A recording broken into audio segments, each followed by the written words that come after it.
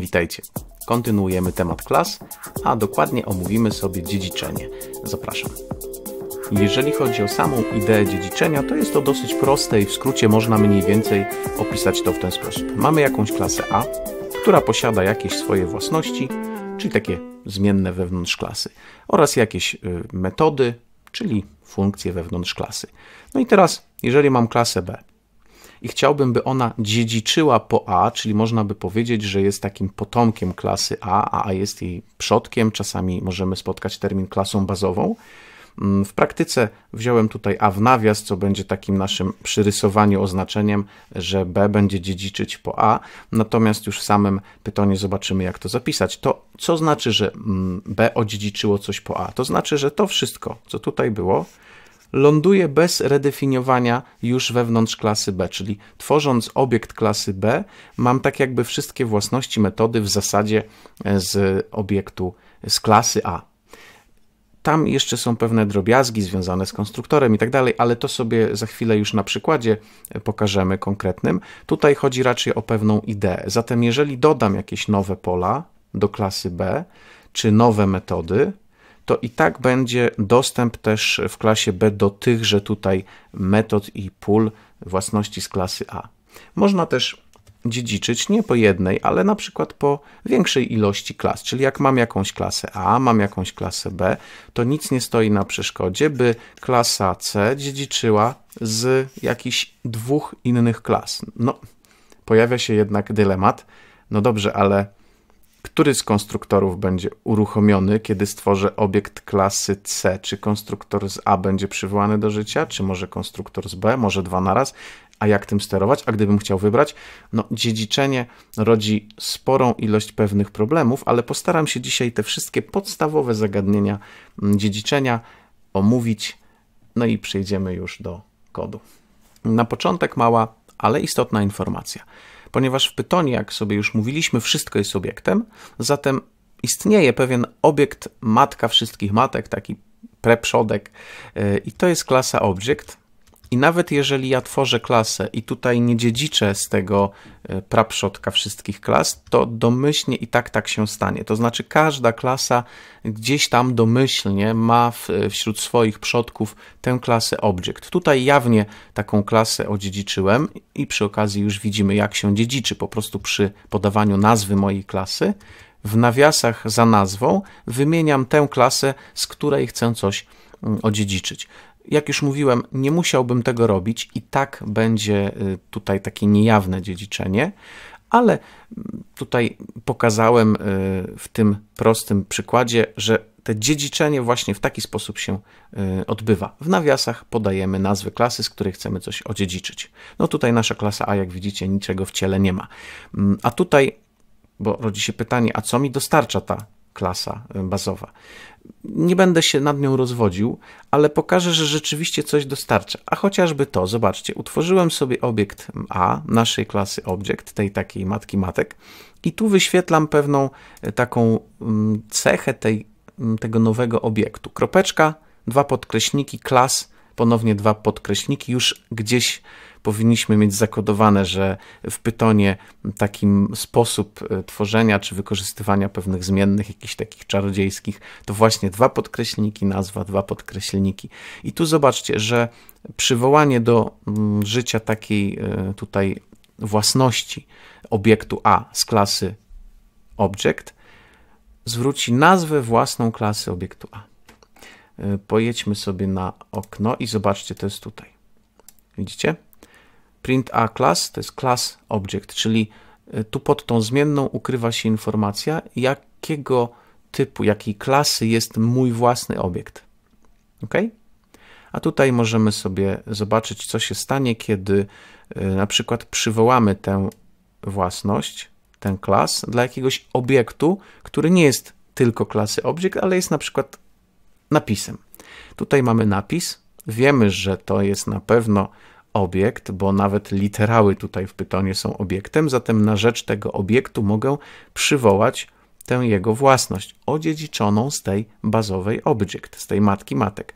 I też, zobaczcie, pojawi się informacja, że to jest str. Zatem, no, pełna informacja o klasie jest tutaj ukryta, chociażby wszystkie obiekty wiedzą, jakiej są klasy. No ale to taka informacja wstępna. Spróbujmy przyjrzeć się temu dziedziczeniu trochę dokładniej. Przyjrzyjmy się teraz klasie B, która tutaj jawnie dziedziczy po obiekt, ale nie musi. Wewnątrz mamy jedną własność, własność taką klasową. Tutaj wartością domyślną jest nic. I mamy też konstruktor, który przyjmuje jeden argument. Przypominam, self jest takie obligatoryjne i to jest właśnie ten obiekt, na rzecz którego wywołany zostanie konstruktor. A wewnątrz mamy przypisanie tutaj do własności obiektu x wartości przekazanej e, do konstruktora i wyświetlimy sobie taki napis. Jestem konstruktorem klasy B wywołanym, taki odwrotny ukośnik pozwala przenieść się do następnej linii, tak jakby to była ciągle jedna linia. E, wywołanym przy tworzeniu obiektu klasy i tu właśnie skorzystamy sobie z tej takiej naszej e, własności, z tej matki matek, z tej klasy object, i wyświetlimy sobie właśnie tutaj zamieniając to na zwykły napis, wyświetlimy to sobie, dokleimy to sobie tutaj do tego napisu i zobaczymy, jakiej klasy jest ten obiekt, który wywołał ten konstruktor. Teraz mamy klasę C, która dziedziczy po B. Sama klasa nie ma nic, zupełnie tu pas pusto, ale dziedziczenie nastąpiło. Zatem co się będzie działo, gdy zaczniemy tworzyć obiekty klasy C? Popatrzmy, najpierw stwórzmy B klasy B. Kiedy tworzymy ten obiekt, pojawia się taki oto napis. Jestem konstruktorem klasy B wywołanym przy tworzeniu obiektu klasy i tu mamy właśnie klasę B. Czyli wszystko się zgadza, konstruktor klasy B uruchomiony i napis z klasy B z konstruktora wyświetlony, przy czym ta część pobrała faktyczną klasę obiektu, na rzecz którego to wywołałem, czyli jest to B. Te main z przodu to po prostu jest jakby ten program główny, że to jest taka klasa, która jest teraz w przestrzeni programu głównego. Ale kiedy utworzę sobie obiekt C klasy C, klasa C nie miała żadnego jawnego tutaj konstruktora, ale miała dziedziczenie. Popatrzcie, pojawi się konstruktor z klasy B. Tyle tylko, że już obiekt jest wewnątrz klasy C. Zatem odziedziczony konstruktor z klasy B został wywołany na rzecz obiektu klasy C, zupełnie tej innej już klasy, ale jest to klasa potomna, która pobrała sobie tamten mm, konstruktor z B, ale już wywołany na rzecz klasy C. Tutaj mamy jeszcze to samo, tylko bez argumentu. C y, nie ma argumentu, bo x będzie domyślnie wtedy dziesiątką. Jeżeli nie podam x, to przyjmie się ten domyślny parametr, w tym wypadku dycha. I oczywiście konstruktor ponownie wywołany, bo obiekt D jest nowym reprezentantem klasy C. Zatem ponownie mamy konstruktor. I teraz y, w tej dalszej części jeszcze zobaczymy, co się dzieje z tą y, tutaj taką cechą klasową. Popatrzmy. Tutaj sobie wyświetlę tę cechę klasową. No to jest właśnie ten non, nic. Tutaj przypiszę do cechy o nazwie klasowa dwójkę, ale jak wiemy już z lekcji bodaj 10, y, to w tym momencie staje się zupełnie inna własność ta własność klasy B, całej klasy, zostanie z wartością non, a dla obiektu B zostanie utworzona nowa własność, akurat tak samo się nazywająca, ale już mająca swoją wartość 2. I tutaj niżej wyświetlam, zobaczcie, i tą wartość y, klasową, zatem b. klasowa równa się 2 nie zmieniła tej cechy dla całej klasy, a swoją już posiada. Dlatego mamy tutaj non dla całej klasy dalej, bez zmienienia wartości i dwójeczkę dla obiektu B. Obiekt B ma swoją własną teraz y, własność klasową. Teraz tworzymy sobie 3 dla klasowej wartości zmiennej klasowa, tej własności klasy całej B. Zatem podmieniamy ten non na 3 i teraz wyświetlmy. Popatrzcie, taką serię. Wyświetlamy sobie bx, czyli to powinno być piątka. No i jest piątka, bo odpalaliśmy konstruktor z piątką. cx powinno być dwójką i jest dwójka. Dalej mamy dx. dx nie miało parametrów, więc powinna być wstawiona domyślna wartość 10. Jest 10. A teraz uwaga. B klasowa, czyli całej klasy, ta, ta, o ta cecha, ile się tu wyświetli? Ano wyświetli się 3, bo to zmieniłem. Hmm? Mamy tutaj 3. Ale uwaga, C klasowa też uległa zmianie i jest to 3. I to jest bardzo ciekawe. E, to jest ciekawa cecha, ponieważ C odziedziczyło klasową własność klasy B. I kiedy zmieniłem w klasie B tę klasową własność, to i w klasie C, która na początku odziedziczyła przecież wartość klasową non, a tu zmieniłem tę wartość na 3 i klasa C też ma to zmienione. Warto zapamiętać e, takie niuanse, bo kiedy będziemy dziedziczyć z klasy A coś do klasy B, tak, czy tam odwrotnie, y, to warto rozumieć, jakie mechanizmy się tutaj y, dzieją, co jest przy tym dziedziczeniu zachowane, co zmieniane, jak się odnajdziemy, kiedy konstruktor będzie z innej klasy. Myślę, że ten prosty przykład już coś Wam o tym dziedziczeniu pokazał, ale przejdziemy do y, trochę bardziej precyzyjnego, trochę więcej jeszcze rzeczy powiemy. Zobaczcie. Kolejny przykład korzysta z pakietów, które utworzyliśmy na lekcji bodaj 11. Mamy tutaj klasy 2 i importujemy sobie stamtąd wszystkie klasy, które tam ten pakiecik dostarczał. A tam była taka klasa punkt. No, tam XY przechowywane w klasie. I teraz tworzę sobie klasę koło, która dziedziczy po punkcie. Dlaczego? No bo koło ma w sobie jakiś punkt, powiedzmy, że będzie to środek. Ale dodatkowo chciałbym, żeby koło jeszcze miało promień, bo punkt, no to już odziedziczymy wszystko, co było w tamtej klasie. Odsyłam Was już do tamtej klasy, samodzielnie możecie sobie tam zobaczyć, jak ta klasa punkt wyglądała. Mnie teraz interesuje nie analizowanie tej klasy punkt, ale no właśnie, dodanie jawnie wywołania konstruktora klasy tej, z której dziedziczę. Bo czasami chcemy wywołać konstruktor bazowy, tak jak tutaj on się przy dziedziczeniu w klasie mm, tej C, ten konstruktor się tak odziedziczył i kiedy ja tworzyłem obiekt klasy Z, to on się i tak wywołał, ale ja chciałbym czasem mieć nad tym większą kontrolę i wywołać go sam, ale na przykład trochę zmienić, trochę pododawać jakieś parametry albo usunąć. Zobaczcie, co się dzieje. Mamy tutaj konstruktor, ale klasy koło. Mimo, że dziedziczę po punkt, który tam też miał swój jakiś konstruktor, to ja tutaj go redefiniuję dla klasy koło, tak aby miała własny konstruktor. Ale wewnątrz tego konstruktora, tutaj mamy trzy parametry, x, y i promień, czyli punkt xy to będzie środek koła i promień koła. Taki konstruktor klasy koło korzysta z konstruktora klasy punkt jawnie, ponieważ wewnątrz tego konstruktora, zwróćcie uwagę, tu jest taka specjalna, y, takie specjalne polecenie super. To jest taka specjalna metoda, która pozwala odwołać się do przodka. To super to jest ta nadklasa, ten przodek. I tutaj, kiedy podam takie super, to mogę odwołać się do konstruktora tej klasy przodka. I tu podaję tylko xy. Zatem jawnie wywołałem konstruktor klasy punkt. I w tym konstruktorze będzie potrzebny xy. Zatem nie podałem wszystkich argumentów z mojego konstruktora dla koła, tylko te, które tu potrzebne są do punktu.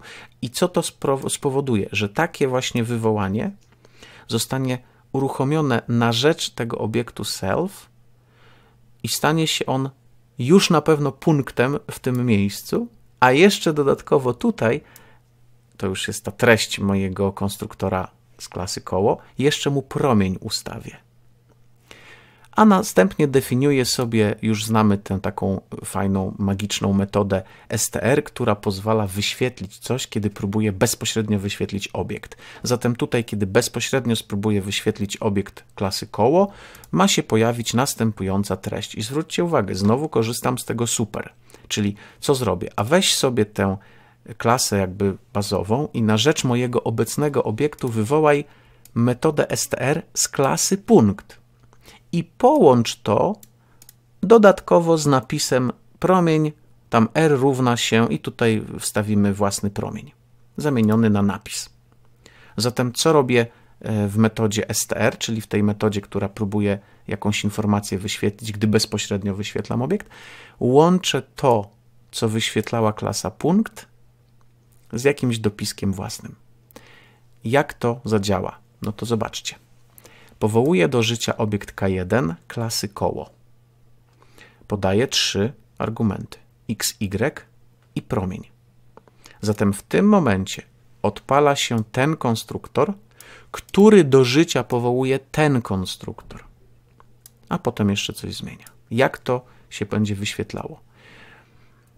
A wyświetli się to, popatrzcie, w taki sposób, że jak tutaj sobie printem, o w tym miejscu, zacznę wyświetlać następujące rzeczy. Najpierw samo K1, to mamy to tutaj. Zerknijcie. Zatem wyświetlenie obiektu K1 odwoła się do tej metody str i wyświetli to. Ale żeby wyświetlić to, muszę odwołać się do metody str klasy punkt, pobrać tę treść i połączyć z resztą. I tak jest, patrzcie, tu mamy tę treść, która jest pobrana z klasy punkt, a więc dziedziczenie się powiodło, metoda działa i połączoną z informacją r równa się 120. Zatem mamy informację o punkcie i o promieniu. Dalej wyświetlamy K1 klas, czyli informację, jakie klasy jest K1 i widzimy, że to jest koło. To jest ta metoda, ta własność klas odziedziczona po tej takiej matce matek. Dalej mamy K1 dog. To taka ciekawostka. I popatrzcie, to jest mm, to jest tutaj. Opis klasy będzie dostępny pod polem dog dla każdego obiektu oraz dla samej klasy. A co to za cudo się tu stało? A zwróćcie uwagę, na początku naszej klasy hmm, dodałem taki opis klasy. Kiedy odwołałem się do cechy dog, to został wyświetlony dokładnie ten napis. Zatem już mamy kolejną pewną cechę y, od tej matki matek. Dog. Jeżeli istnieje dokumentacja w klasie, tutaj właśnie zaraz po e, rozpoczęciu naszego ciała klasy, tej całej definicji, to możemy się do tego dobrać, odwołać. Hmm? Taka magiczna zmienna dok. Co mamy dalej? Przywołajmy to dla całej klasy koło. Będzie dokładnie to samo. Zatem możemy i w ten sposób się dobrać do tego. E, zobaczcie, to jest bardzo ciekawe, bo możemy w ten sposób utworzyć opis do jakichś klas i powołać się tutaj do tego opisu, pobrać go sobie. Hmm? Nie tylko na obiekcie, dla całej klasy, jeszcze bez obiektu. Tutaj mamy też bardzo ciekawą rzecz. To też jest taka e, domyślna, wbudowana pewna metoda.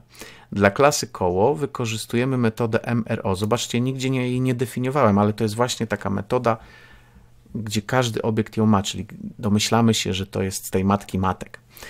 I tutaj co się pojawi? Popatrzcie, też pewna taka informacja.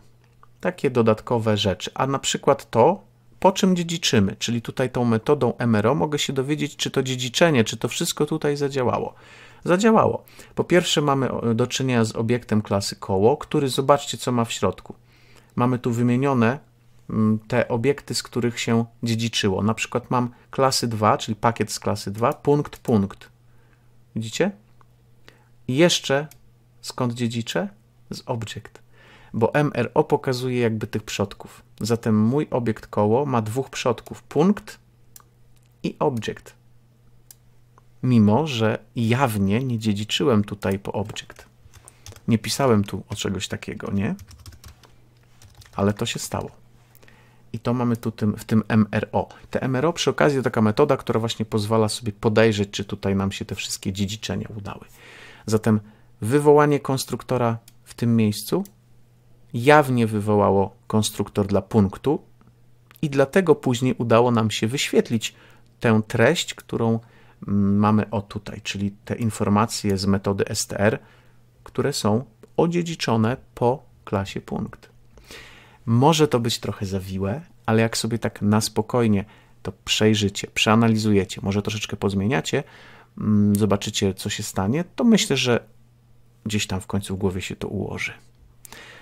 Ale przed nami jeszcze jedna rzecz, mianowicie dziedziczenie od kilku przodków. Zobaczmy, jak tutaj zachowa się pyton.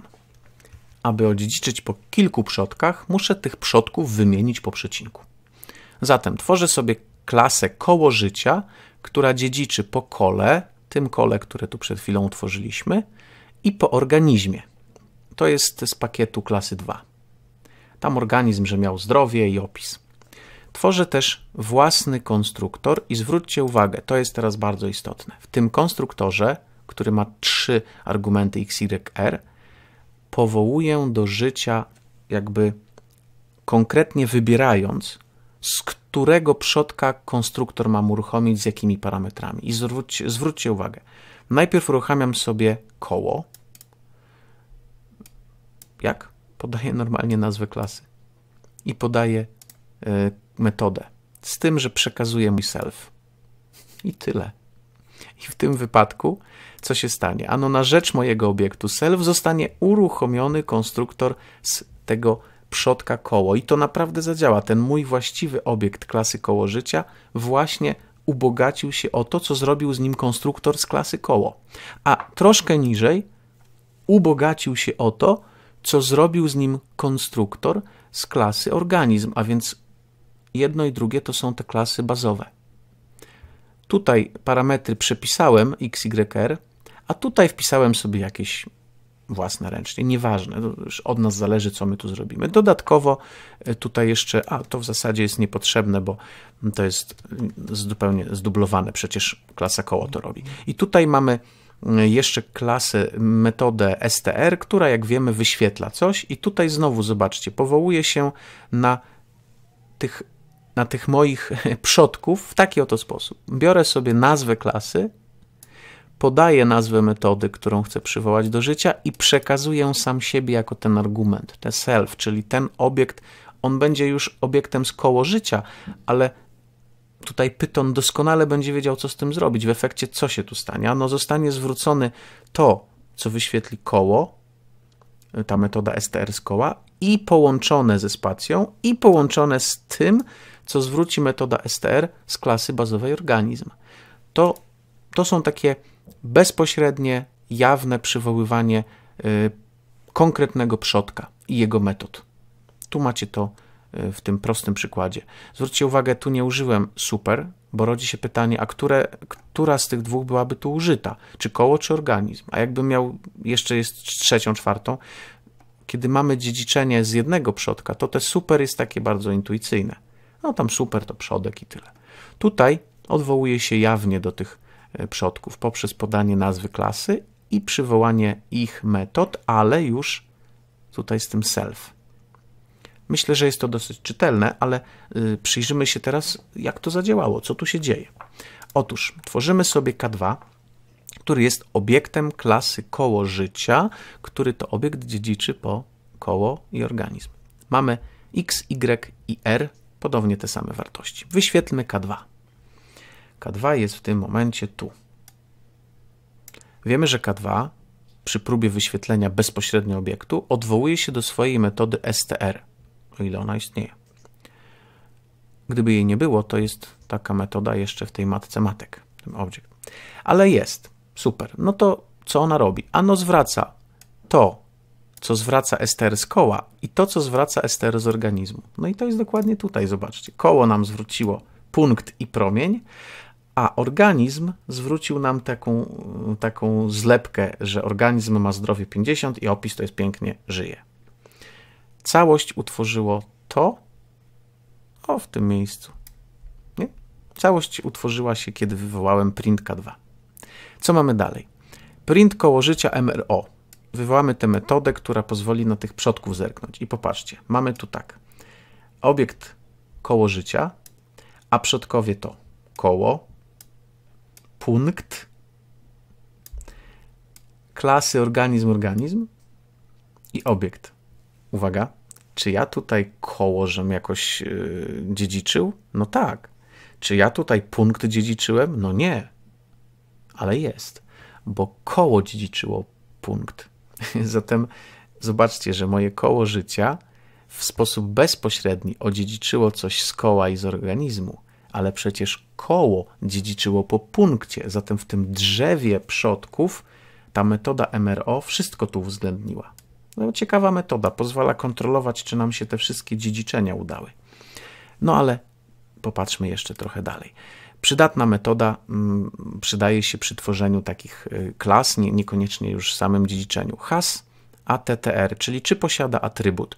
Pytam się, czy K2, obiekt K2 posiada atrybut opis. Odpowiedź będzie tak lub nie, prawda, fałsz.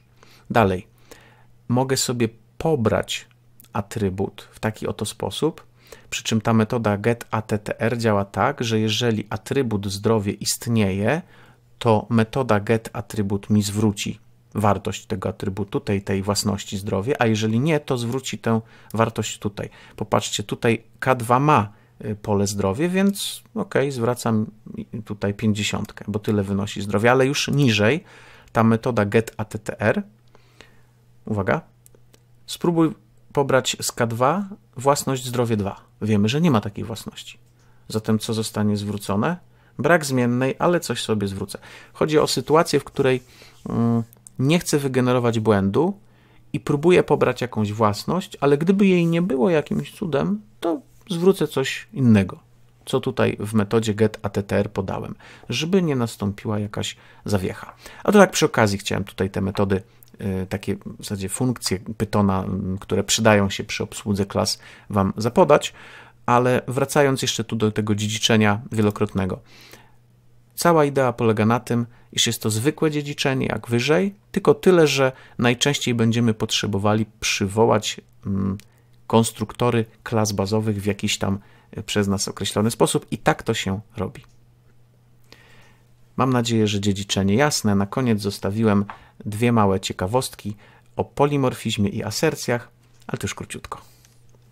Polimorfizm to taka umiejętność, w której funkcje, ewentualnie metody, mogą wystąpić pod jedną wspólną nazwą, ale działać dla zupełnie różnych argumentów. Akurat w Pytonie polimorfizm w zasadzie jest automatyczny. Z definicji samego Pytona wynika. Popatrzcie. Mam oto funkcję f1, która przyjmuje jeden argument arg i tutaj ten arg po prostu chcę wyświetlić. Jest to tylko jedna tutaj definicja y, tej funkcji f1. A teraz patrzcie, wywołuję F1 dla jedynki, F1 dla literki, czy F1 dla listy. Za każdym razem zadziała, popatrzcie. Wyświetli się jedynka, wyświetli się A i wyświetli się lista. Zatem funkcja nie zgłosiła tu jakiegoś błędu, y, nie mówi nam, słuchaj, no nie wiem co zrobić z literką, wiem co zrobić z liczbą 1, ale literka A to mnie przerosła. No nie, po prostu jakiś argument. Ten argument jest pewnym takim skrótem myślowym, bo to jest weź coś, jakiegoś tam typu, ja sobie z tym poradzę. Zazwyczaj. Y, to nie jest takie oczywiste w wielu innych językach. Tam często, jeżeli są to języki typowane i muszę jawnie dla każdej zmiennej podać typ, tam często będę musiał takich definicji zrobić kilka albo wykorzystując na przykład w C++ STL. Mm, wprawdzie mogę mieć jedną definicję, ale będę musiał wewnątrz takiej funkcji sprawdzać, cóż to za argument, jakiego typu został podany i tam właściwie się zachować. Mówiąc krótko, jest to jakieś uproszczenie, ale no mimo wszystko nie jest to aż tak wygodne. Python tutaj naprawdę jest bardzo elastyczny i bardzo abstrakcyjny, bo y, mówimy tylko podaj mi argument i nie musimy podawać jego typu kontekst będzie y, tutaj jakby wymuszał działanie i dopóki coś da się na przykład wyświetlić, Python sobie z tym poradzi. Zatem jest polimorficzny niemalże z definicji. Bardzo polimorficzny jest ten Python. Jeszcze jedną rzecz Wam na koniec pokażę jako ciekawostkę. To nie wiąże się jakoś wprost z klasami, ale mały dodateczek, gdzieś go tam trzeba wtrynić, a robić oddzielną lekcję o tym to trochę bez sensu. Asercje. Asercja to mechanizm testu, czy coś jest tym, co ja myślę, że jest. Jeżeli myślę, że zmienna x jest równa 10, to mogę to sprawdzić. Jak sprawdzenie się nie uda, program zwróci błąd, a jak się uda, no to zupełnie nic się nie stanie. Zobaczcie, mam tutaj y, x, który jest równe 10 i teraz sprawdzam taką mm, równość, czy x jest równe 10. Assert x równe 10. I teraz, jeżeli tak, to nic tu się nie zadzieje. A jeżeli nie, to byłby błąd. Teraz się nic nie zadzieje. Jak odpalę to, to zobaczymy, że nic tu się nie stało. Ale weźmy tu jedenastkę i jeszcze raz uruchomimy. Hmm? Patrzcie, Assertion error. Nie udały się te nasze asercje, ponieważ myślałem, że x jest dziesiątką, ale to nieprawda. Jest to, można powiedzieć, taki if, który zwraca wyjątek, gdy się nie uda. To może niezbyt fachowe określenie, ale dokładnie w praktyce tak właśnie jest. Wróćmy tu do dziesiątki, niech nam to jednak zadziała. I jeszcze zobaczmy e, inny przykład. Popatrzcie, można też użyć asercji w przypadku połączenia, połączyć asercję z jakąś metodą, która też zwraca informację prawda-fałsz. A zobaczcie, tutaj mamy tę funkcję has attr, has attribut, którą wcześniej pokazałem, gdzie pytamy, czy tutaj obiekt K2 ma cechę zdrowie. Ok? Jeżeli ma, no to super, a jak nie ma, no to nic się nie stanie, tu będzie wstawiona wartość fałsz. Ale ponieważ odpaliłem tu asercję, no to zobaczmy. F5 nic się nie stało, bo K2 ma zdrowie. A co jak wstawię zdrowie 2? F5 błąd. Wyrzuciło nam błąd, ponieważ K2 nie ma własności zdrowie 2 i asercja mi to jakby sprawdziła. Czyli ta asercja to taki sposób na przerwanie programu, jeśli coś się nie zgadza. No, może Wam się przydać. A tutaj połączyłem jeszcze asercję z naszymi wątkami, które już znamy. Zatem sprawdź, czy ta asercja uda się, czy nie. Gdyby się nie udała, to nie wyrzucaj błędu, tylko go obsłuż. Taki ciekawy przykład. Otóż x nie jest dwunastką, zatem asercja normalnie wygenerowałaby wyjątek, przerwała program, ale ponieważ umieściłem to w e, tej sekcji try i obsłużyłem taki wyjątek, jakikolwiek, który się tu pojawi, pojawi się napis mylisz się. Popatrzcie. Mylisz się. X to nie jest 12, bo to jest oczywiście 10. To taka dygresja, dodatek do tej lekcji. E, ale jej treścią było dalsze poznawanie klas w Pytonie, a ściślej przyjrzeliśmy się temu dziedziczeniu. Mam nadzieję, że będzie to jasne. Plik jak zwykle jest dostępny. Pod y, lekcją będzie link tam do tych wszystkich plików. Przejrzyjcie to sobie, przeanalizujcie, popróbujcie, stwórzcie własne klasy, podziedziczcie, gdzieś tam w tych konstruktorach poumieszczajcie jakieś printy, posprawdzajcie, czy rzeczywiście to tak działa, jak zrozumieliście. Miłej pracy i reszty dnia.